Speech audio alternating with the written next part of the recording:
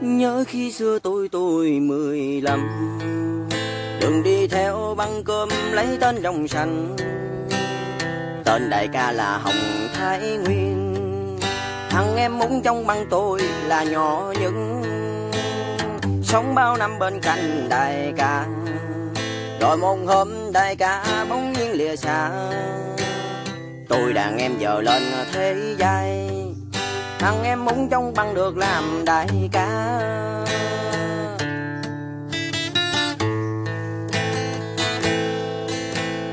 Trong đêm khuya vắng, chúng tôi đang bàn tán.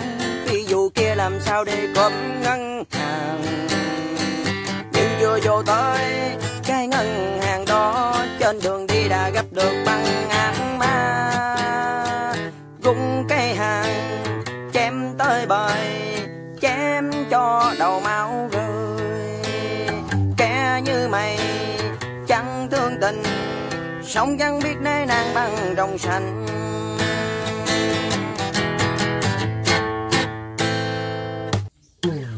Đến giữa năm 2001 Rồi tôi đã sân bay bước sang Hồng Kông. Sang Hồng Kông cùng tên báo đen. Mình mua bán đô để mà kiếm sống. Cuối năm 2005 Thằng ma một nó lên nắm băng đồng xanh. Trên đường ra sân bay đón tôi, Gặp ma mút trên tay đang cầm mã tấu. Tôi không may mắn nên đã bị chém, Cho một dao ở ngay cái ba sườn.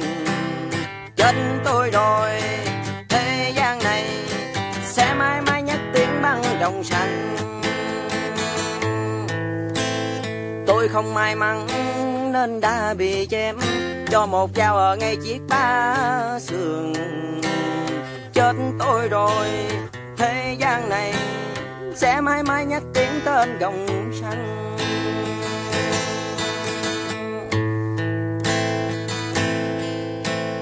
Nhớ khi xưa tôi tôi mười lăm được đi theo băng cơm lấy tên đồng xanh Tên đại ca là Hồng Thái Nguyên.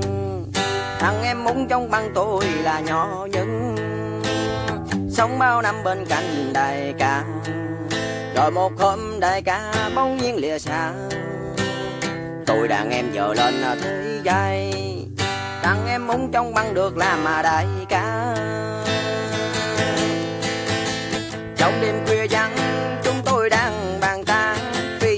làm sao để cướp cái ngân hàng? Trên nhưng chưa vô tới cái ngân hàng đó, Trên đường đi đã gặp được băng ác ma.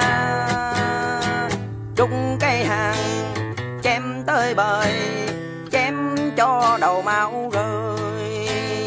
Kẻ như mày chẳng thương tình Sống chẳng biết nơi nàng bằng đồng xanh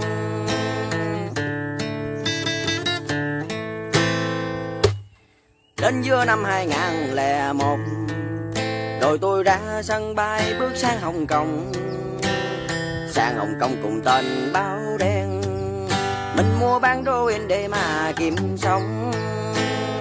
Cuối năm 2005 Thằng ma một nó lên nắm băng đồng xanh. Trên đường ra sân bay đón tôi, Gặp ma mút trong tay đang cầm mã Tôi không may mắn, nên đã bị chém. Cho một dao ở ngay chiếc má sườn.